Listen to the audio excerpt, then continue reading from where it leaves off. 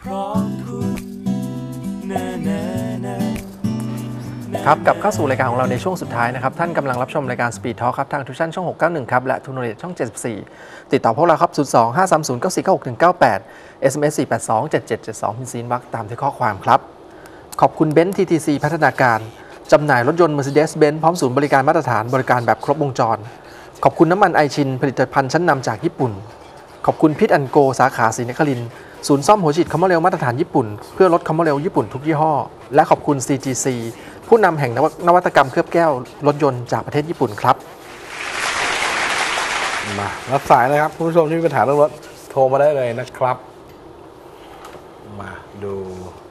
SMS กัน ครับ มาดูข้อนี้นะครับ All New D-Max 4ประตู 4 Wheel ครับ ไฟถุงลม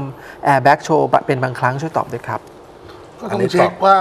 เซ็นเซอร์มีปัญหาไหมตอบยาก ต้องรอให้มันติดค้างเลยอะเพราะติดติดดับๆอาการนี้นะพอขับใครไปเข้าไปเช็คก็รู้ พอขับไปศูนย์ไปเสียบแล้วมันไม่เจอ เพราะมันตอนนั้นมันไม่โชว์ก็มี ก็ไปลองดูได้แต่ว่า เชื่อว่าอีกสักพักหนึ่งอาการเนี้ยเดี๋ยวสักพักหนึ่งแล้วทีนี้มันจะติดค้างแล้วอาจจะเป็นที่พี่โบ๊ทบอกเซนเซอร์เริ่มสกปรกอาจจะมีสายฟงสายไฟหลวมก็เลยทำให้มีอาการพวกนี้เข้ามาใช่ตอนนี้ยังไม่รู้หรอกครับ ก็อยากรู้ลองไปเช็คเสียบที่ที่ศูนย์ครับอาจจะพอทราบโค้ดขึ้นแต่ก็ใช่ไม่แน่ใช่นะบางทีก็ไม่ขึ้นอาการเนี้ยฮะ โตโยต้าเวนจูรี่ปี 05 5แสนแพงไหมครับ เป็นราคาตั้งของของตลาดนะครับเวนจูรี่05 ถือว่าเป็นปีแรกของเขาเลยนะครับ ถ้าวัดนับวันนี้ก็ 11 ปี ถือว่าค่อนข้างปีค่อนข้างลึก แต่ว่าในงบ 5 0 0แสนไม่เกินไม่เกิน 6 0แสนเนี่ย เพิ่มงบอีกนิดนึงนะครับ ได้ปี 0708 นะครับ ไม่ทะลุเลข 6 นะอืมแล้วก็ดูรถที่ไม่ติดแก๊สมาดูรถที่น่าจะมาจากเป็นรถบ้านอ่าน่าจะเป็นมาจากรถออฟฟิศ หรือรถประจำตำแหน่งแบบเนี้ยสภาพยังส่วนใหญ่ยังโอเค แต่ถ้าเป็นรถวินเอาออกมาจำหน่ายนะครับ อันเนี้ยน่าจะโสดเยอะอันนี้นะอย่าไปยุ่งเลยนะครับช่วงนี้สายรถตู้ได้คุยกับพี่เอ็กซ์ได้เลยนะฮะนะช่วงนี้ช่วงนี้มารถตู้ก็เป็นแนวตู้ซิ่งฮะตู้ซิ่งใช่ไหมเราวิ่งสิบเอ็ดหรือเปล่าอ๋อไม่ตู้ครับซิ่งวิ่งสิบเอ็ดเนี่ยไม่ใช่ครับบอกตู้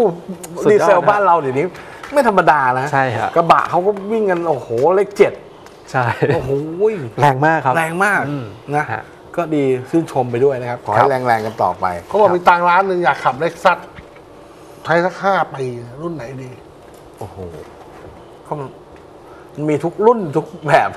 จะแบบไหนอะมันกว้างไปไหม แต่ถ้ามีตังค์ร้านหนึ่งถ้าใช้ห้าปีนะ เป็นผมนะฮะผมจะหนีไปเล่น LS 460หน้ายักษ์อืมตอนนี้โล่งมาอยู่ประมาณเนี้ยนะ ประมาณเนี้ยล้นหนึ่งร้านหนึ่งครับ เพราะว่ามันจะไปขับหลังแล้วก็อะไรเครื่อง เครื่องหนึ่งยูสองยูมันโอ้โหหาอะไรยากเกินเลยหนึ่งยูสองยูช่างที่ไหนก็ซ่อมได้เดี๋ยวนี้ใช่นี่มันเป็นต่อเนื่องจากเจนะฮะเครื่องยูนี่เดี๋ยวนี้ช่างซ่อมกันต่ออะไร V8 นี่ทำกันสบายถูกเพราะว่า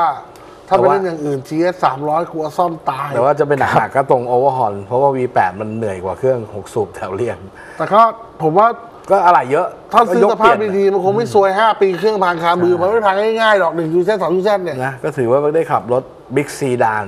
ฮะน้องๆเบนซ์เลยนะไม่ได้ถ้าแพ้ถ้าเทียบชั้นก็คือ S-Class ได้เลย S-Class นะครับเลยนะ S-Class ต้องเป็น S-Class ตัวเครื่องใหญ่ด้วยนะ ใช่เพราะสมรรถนะได้ครับเขาถามว่าระบบควบคุมการทรงตัว เวลาเกิดยางระเบิดช่วยได้ไหม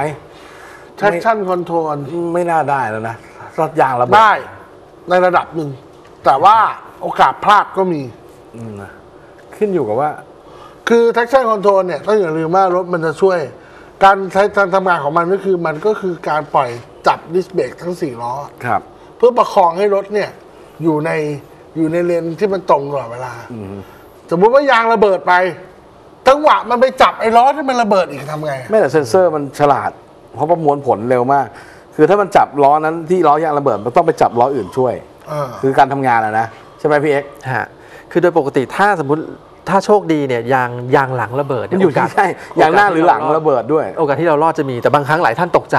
คือถ้าสมมติระเบิดปุ๊บแล้วหลายท่านกดเบรกเต็มแรงเนี่ยนะครับถึงแม้จะมี ABS แต่บางทีล้อล้ออาจจะล้อบางทียังไงก็เสียการทรงตัวเสียการทรงตัว แต่ถ้าสมมติมันมีตัวระบบควบคุมการทรงตัวปุ๊บเนี่ยมันจะลดแรงดันเบรกล้อที่มีปัญหาอือฮึให้อาจจะช่วยประคองให้ให้ควบคุมรถได้ลดง่ายขึ้นความเสี่ยงอืมลงได้นะครับไม่รอดอาจจะรอดจากการเกิดอุบัติเหตุหรือตออานจเนี้จะย เกิดอุบัติเหตุ พี่เอ็กซ์พูดอันนี้เขาน้อยลงได้เอ่าทุกวันเนี้ยเรื่องยางระเบิดที่เกิดขึ้นนะครับหลายๆคนมันที่ระเบิดเนี่ยระเบิดล้อหลังพวกรถบรรทุกรถฮะ รถกระบะปิกอัพทั้งหลายรถปิกอัพเนี่ยตัวดีแล้วบรรทุกของเกินยางไม่ได้ต้องรถไม่พได้ยาเปลี่บายลนนี่ยังระเบิดเลยก็ใช่ไงเวลาระเบิดปุ๊บแล้วคนตกใจ ฮะ เหยียบเบรกพอเหยียบเบรกเนี่ย พอเบรกทำงานปุ๊บยางที่มันไม่สัมผัสพื้นได้ไม่เท่ากันอะครับข้างหนึงมันระเบิดไปแล้วเนี่ยมันเสียการยึดเกาะไปแล้วทำให้รถเสียการทรงตัวควบคุมรถที่ที่เกิดอุบัติเหตุกันนะ ทีนี้ต้องต้องต้องบอกเลยว่าระบบอะไรก็ช่วยไม่ได้มันต้องสติเป็นอย่างแรกนะณชั่วโมงนั้นมันต้องค่อยๆชะลอความเร็ว ไม่ใช่ว่าแตะเบรกอย่างรุนแรงทันทีต้องคือ แตะ traction control ต้องแตะเบรกอธิบาให้ช่วยช่วยชะลอความเร็วลงไปลดความเสี่ยงช่วยได้ลงช่วยได้ในระดับหนึ่งฮะแต่ก็แต่ไม่ใช่ถ้าว่าล้อหน้าระเบิด โอ้โห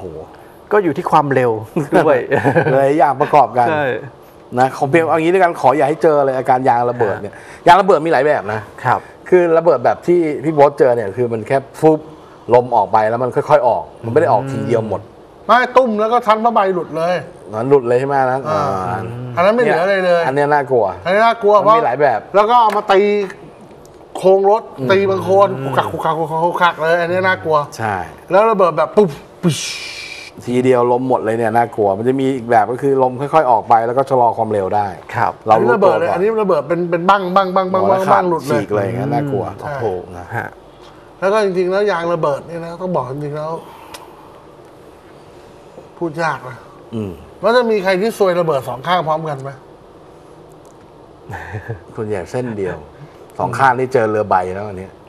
วิ่งไปเจอเรือใบเข้าปุ๊บระเบิดแตกสองข้าง ของผมก็เกือบจะสองข้างนะเพราะอีกข้างบวมเป่งจัดเลย แต่เพอเออข้างทนไม่ไหวก่อน นะถ้าฝืนมาอีกนิดนึงผมว่าก็ก็ถือว่าโชคดีไป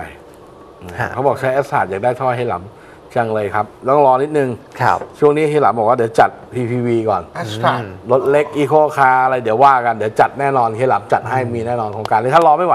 เข้าไปจัดก่อนได้เข้าไปบอกจัดก่อนได้ มาจาก Speed Talk เนี่ยราคาพิเศษอยู่แล้วนะครับครับ ลองเข้าไปพูดคุยดู ม้าชมพูภูเก็ตมาแล้วครับไปไหนมาไม่รู้หายไปนานเลยม้าชมพูภูเก็ตฮะนะครับถามว่า Chevrolet Sonic ยังน่าเล่นอยู่ไหมครับ ขับไปส่งลูกเขาบอกแค่ขับไปส่งลูกไปโรงเรียน ครับ ได้นะ อยู่ที่ว่าได้มาราคาเท่าไหร่ นะไปเจอมาราคาถ้ามันถูกแล้วรถสภาพฮะสวยเลยรถไม่ค่อยได้ใช้ทุกอย่างยังโอเคอยู่ เช็คศูนย์ตลอดก็ก็ขับแค่ส่งลูกอะ่ะมันก็ใช้งานได้ปกติ แต่ว่าปัญหาคือซื้อมาแล้ว อย่าคิดว่าจะขายต่ออีกรอบนะอะเต็นท์ก็ไม่รับแล้วตอนเนี้ย Sonic เนี่ยเขาไปคุยกับเต็นท์นี่เต็นท์ส่ายหัวนะนี่เนี่ยปัญหาอยู่ตรงนี้แหละนะครับนี่ไง Almera Nismo เจ็ดแสนกว่า คุ้มไหม Almera ผมว่าทำมาเพื่อภาพลักษณ์มากกว่า เพราะคนมองอีโคคาร์ของนิสสันเนี่ยเป็นรถที่เป็นรถแม่บ้าน สมรรถนะอะไรไม่ค่อยสูงครับแต่พอใส่ Nismo ชุดแต่งมาเนี่ยมันมันเหมือนกับว่ามีให้เลือกทั้ง aero aero part แล้วก็ชุด performance มันมี 2 แบบนะฮะตัว Nismo เนี่ยมันมีฮะเป็นสวยงามเฉยๆ aero partครับชุดแต่งรอบคันครับกับชุดที่ performance ด้วยก็จะมีครับเรื่องท่อไอเสียโช้คอัพอะไรพวกนี้มาด้วยช่วงล่างด้วย แต่พอบอก 7 กว่าเนี่ยผมว่าซื้อเครื่องพันห้าดีกว่านะใช่ไหมขยับไปเป็น B segment ดูดูดูน่าสนคุ้มกว่าอืมฮะประมาณนี้ครับนะครับไอ้ที่น่าทำไม่ทำ Sylphy เนี่ย Nismo อย่างที่บอกนะ ต้องชัดนะนะฮะน่าโดนนะฮะหรือมีตัวไหนออกมาอีกสักตัวหนึ่งเป็น Nismo อีกผมว่านั่นเรา Navara เนี่ยจริงๆก็ต้อง pick up ต้องก็น่าทำนะอ่าฮะอืมครับอะมาฮะพอหมดเวลาแล้วเหรอ ใช่ไหมไปดูทิ้งท้ายไปด้วยเรื่องราวของไมดัสฟิล์มอะ ก็บอกว่าเป็นฟิล์มที่เหนือกว่าเซรามิกทั่วไปนะครับ เพราะว่าฟิล์มไมดัสเป็นฟิล์มเทคโนโลยีนาโนเซรามิกนะครับ แล้วก็มีการเขาบอกว่าฉีดสาร photochromic ที่ทำให้ตัวฟิล์มเนี่ยสามารถปรับลดแสงได้เอง 10%ในตัว เพราะฉะนั้นออกไปเอาว่าดีไม่ดีรับประกันแค่นี้ รับประกัน 1 วันหนึ่ง1ชั่วปีโคตรเนื้อโอ้โหบอกว่ารับประกันตลอดอายุการใช้งาน ถ้าไม่ครับแน่จริงไม่กล้ารับประกันอย่างนี้ใครอยากรู้ดียังไงไปดูเรื่องราวของไมดัสฟิล์มนะครับ เราทิ้งท้ายไว้ด้วยเรื่องราวของฟิล์มไมดัสพวกเราทั้งสามคนลาไปก่อน พบกับพวกเราได้ใหม่กับรายการ Speed Talk ครับรายการสดทุกวันจันทร์ถึงวันศุกร์ครับ วันนี้นอนหลับฝันดีราตรีสวัสดิ์สวัสดีครับ สวัสดีครับ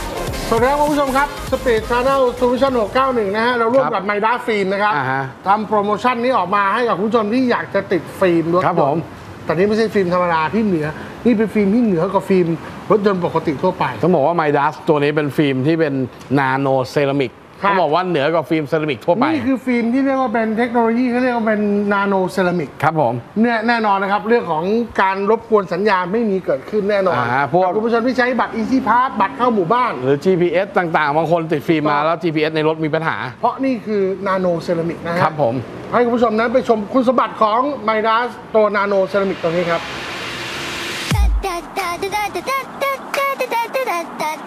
ไมดัสฟิล์มฟิล์มคุณภาพสูงนำเข้าจากประเทศสหรัฐอเมริกา ด้วยคุณสมบัติพิเศษของฟิล์มนาโนเซรามิกที่ทำให้ไมดัสฟิล์มแตกต่างจากฟิล์มทั่วไป นั่นก็คือการกรองรังสีอินฟราเรดที่จะผ่านเข้ามาภายในตัวรถ ซึ่งฟิล์มทั่วไปกรองรังสีอินฟราเรดได้ไม่เกิน 50%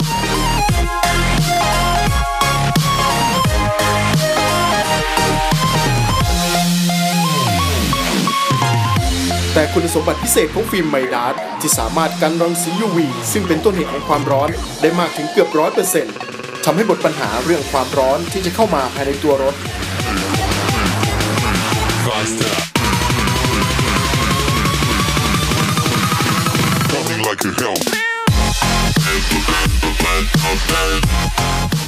หนึ่งคุณสมบัติพิเศษของฟิล์มไมดาร์นั่นก็คือเทคโนโลยี photochromic ซึ่งเป็นเทคโนโลยีล่าสุดของฟิล์มไมดาร์ที่จะมีสาร photochromic ฉีดไว้ในชั้นของฟิล์ม ซึ่งทำให้ฟิล์มสามารถปรับสีได้ตามสภาวะแสง UV และอุณหภูมิ ขณะที่แสงมาก ฟิล์มจะปรับสีเข้มขึ้น และลดลงตามสภาวะแสงอย่างอัตโนมัติ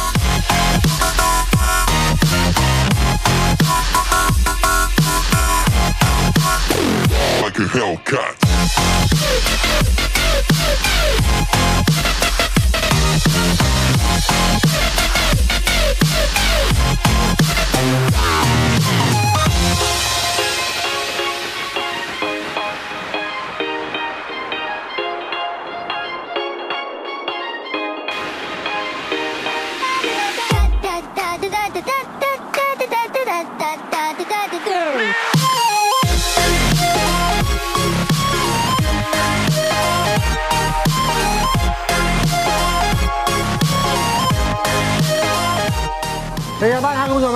สมบัติของฟิล์มไมดัสนาโนเซรามิกตัวนี้ได้วเป็นไงครับ สุดยอดเลยนะนะต้องบอกว่าวันนี้คุณผู้ชมถ้าจะติดฟิล์มนะต้องเอาแบบนี้ฮะสำคัญที่สุดคือรับประกันตลอดอายุการใช้งานรับประกันแค่นี้แค่นี้คืออะไรหนึ่งวันหนึ่งเดือนหนึ่งปีหนึ่งชาติหนึ่งชาติจใช่นไหม กว่าเราจะเจอกันชาติหน้าฮะอ๋อ เพราะฉะนั้นรับประกันหนึ่งชาติถ้าไม่ดีจริงไม่กล้ารับประกันขนาดนี้ ถูกต้องอ่า นะเพราะฉะนั้นคุณผู้ชมที่โทรเข้ามาครับ ที่หมายเลขโทรศัพท์ 08512144 ครับ ราคาเริ่มต้นที่ 25,000 บาท ราคานี้ไม่ใช่เท่านี้ 25,000 บาท นี่คือราคาเริ่มต้น ใช่ แล้วก็มีแถมฟิล์ม safety ที่เราบอกว่าเป็นฟิล์มที่ที่กระจกสี่บาน กระจกด้านข้างสี่บานติดทำไม อืม กรณีที่เราเจอกันบ่อยๆโดนทุบกระจก ทุบกระจกงัดเอากระเป๋า อ่า อันเนี้ยทุบก็คือกระจกแตกแล้วไอ้เรื่องกระจกไม่แตกไปไปไม่ได้ ทุบอะแตกแต่ว่ามันไม่ทะลุเข้าไปในรถเพราะมันจะติดตัวฟิล์มเนี้ย ครับอ่า ทีนี้ขโมยก็จะฉกกระเป๋าฉกโน้ตบุ๊กของเราไม่ได้ตกใจทุบกระจกไปมันแตกแล้วแต่มันล้วงเข้าไปไม่ได้ ถูกต้อง อ่า เพราะฉะนั้นโทรเข้ามาครับ 08512144 เท่านั้น นี่โทรเข้ามาจับจองเป็นเจ้าของนะครับ กับไมด้าฟิล์มครับ วันนี้ขอบคุณคาเฟ่ครับ ที่ลาดกระบัง 38 ครับเป็นครับสถานที่ของเรา แล้วขอบคุณไมด้าฟิล์มครับ ที่ร่วมโปรโมชั่นกับ Speed Channel Solution 691 ของเราครับ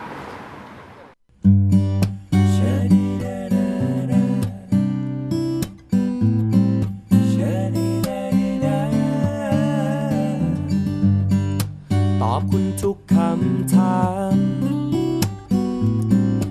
หาทุกเรื่องที่ข้างใจ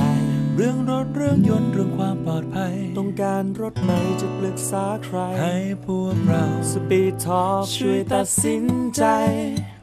ไปพร้อมคุณนานานานานานาไปพร้อม